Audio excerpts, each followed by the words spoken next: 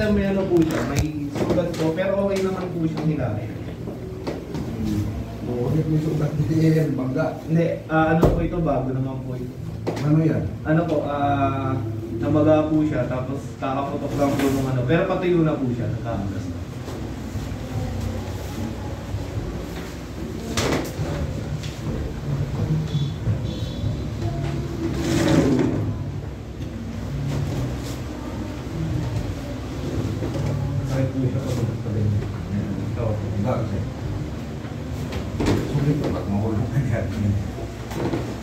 Pero itong sugat, iba to. Opo, iba po yan. Pero dyan din po tumama yung dati. Ano ni kung sakit? Opo, masakit po. 10 months na po yan. Ama, sakit. Medyo po. 10 months na. Opo. 10 months na, nag-iis mo lang. Opo. Naalala ko naman po kaso, Oo. hirap po. Ah, naglalaro ka pa rin? Opo. 10 months, tapilok. Taga saan kayo sir? Dito lang. Taga Santa Maria, Bulacan po. Ah, malayo. Opo.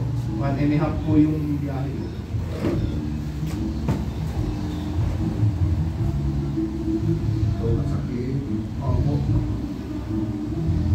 Katansa mo, saan ang sakit sa loob? Hindi ko po ano eh.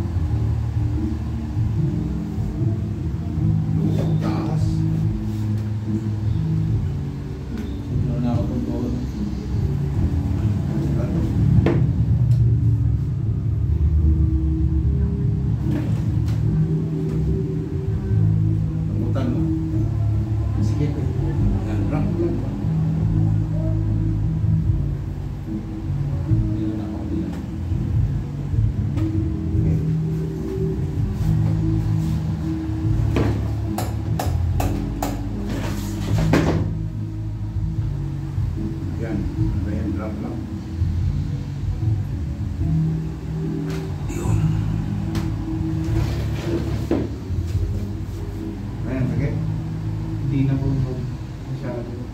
Wala na. Ganun lang pala, no? Drop lang, drop.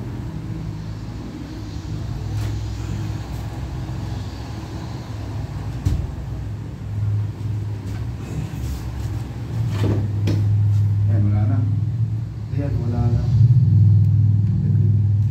Saglit lang, no? Kulang na pala sa ila.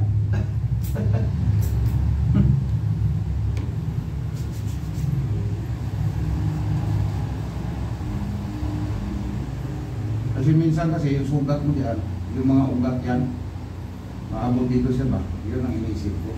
Hmm.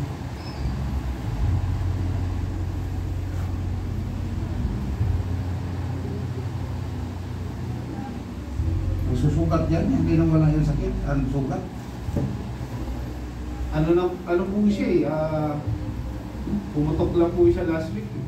Yung Namaga nga po. Pero yan po yung dyan po sa may angle po. Tagal na po yan, master. Imans, wala Opo. iba may hilot dito. Hindi po kayang atakin po eh. Parang natatakot po yung hilot. Sino nang takot? Doon sa ba- Oo Bulacan? po, doon po sa Bulacan. Bakit takot siya? Baka matanggal yung paa mo. Matanggal yan, malaka na maraming ugat yan. Libo-libong ugat yan. Ang, alam mo yung utak, ilang ilang milyon ang ugat sa utak? Trillion.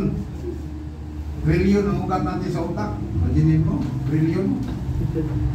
Gadong kadami.